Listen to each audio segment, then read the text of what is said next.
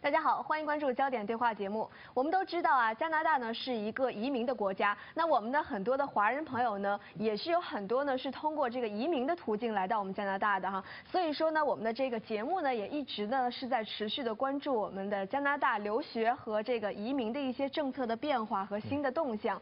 那么今年呢，已经是这个二零一四年的这个二月份了哈。那我们的这个移民部呢，有什么一些这个关于留学和呃移民的一些新的动向呢？那我们今天呢，还是非常高兴的邀请到了环球时代的法律事务所的刘先生，请他呢给我们大家说一下最近留学移民的那些事儿。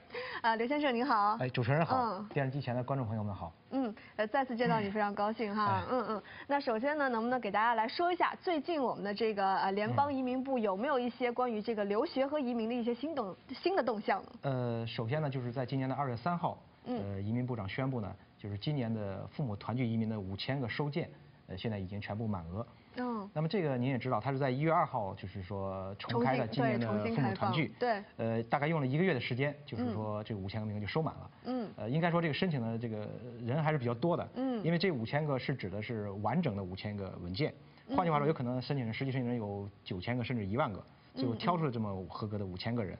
嗯对，呃，这是目前的一个比较一个比较大的一个呃，就是一个比较新的一个一个动向。嗯嗯第二个呢，就是说，可能之后呢，在一些对技术移民或者在对投资移民的一些政策上，可能之后也会有一些调整。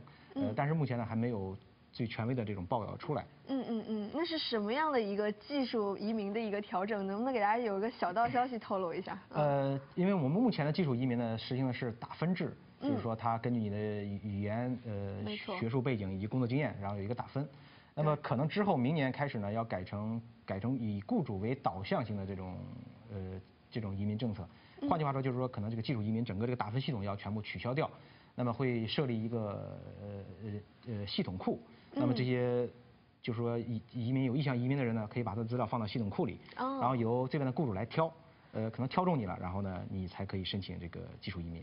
哦，是这样，那就相当于就是公平一些了嘛，对不对？而且呢，就是说，如果说这个呃真的这个雇主挑中你的话，如果您的条件也符合的话，那您呃一来到这个加拿大就应该会有一个就是工作了，对不对？有一个对对对对，这也是因为移嗯民部也是经过一个长期跟踪的结果，他们发现就是说，如果在这边有工作的人，嗯可能融入这个社会的速度会比没有工作的人会更快一些。没错，对嗯嗯嗯。那这个上周啊，也就是这个在二月六号的时候呢，我们的这个呃联邦移民部啊，最近的这个动作 真的是比较多哈。这个上个星期呢，刚刚是宣布了这个呃重大的改革了这个加拿大的入籍法啊。那同时呢，这个在二月六号的时候呢，也是宣布呃取消了这个单次的签证，而这个呃变成了这个多次的入境签证。对同时呢，把各项的这个签证费用呢也是大幅度的降低了。那我觉得呢，这对于我们来说呢是无无疑是一个好的消息。那您能不能给大家来介绍具体的来介绍一下这个新的这个多次签证的一些内容呢？呃，就是这次针对于这个新的多次签证呢，其实它就是移民部就是规定，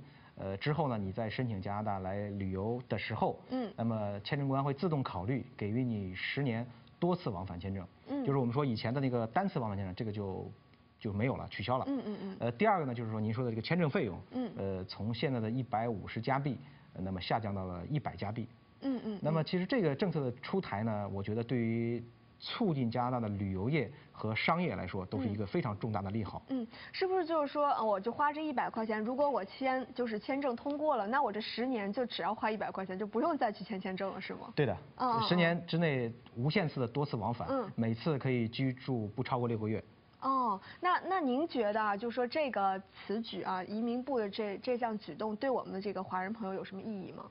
呃，首先我就是像我刚才说的，那么嗯。对于我们呃热爱旅游的朋友来说，嗯。那么这其实是一个非常重大的利好。嗯。呃，第二呢，对于那有一些想来探亲的朋友，但是可能又不符合超级签证申请条件的朋友来说，这也是一个重大的利好，嗯。因为这个意味着您在十年之内，您可以随时来加拿大，嗯。呃，没有其他限制，嗯嗯。呃，同时呢，就是我刚才讲的，就是说我们来了加拿大以后，你必然要消费，对。那这个消费，那么它对于带动加拿大本地的经济、带动本地的商业发展，嗯都是一个非常好的一个一个消息。嗯嗯呃，另外一个呢，就是说我们间接来说，对于房地产也是一个重大的这个刺激。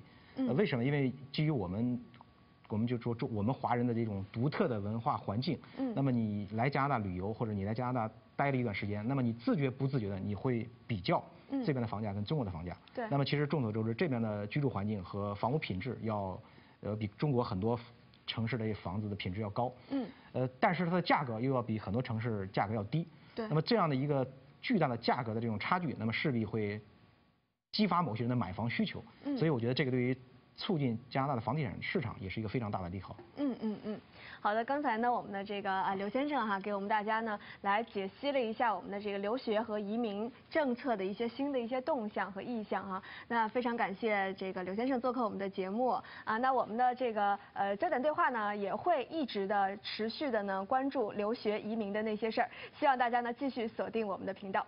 好了，这就是本期的全部内容了，感谢您的关注，我们下期再见。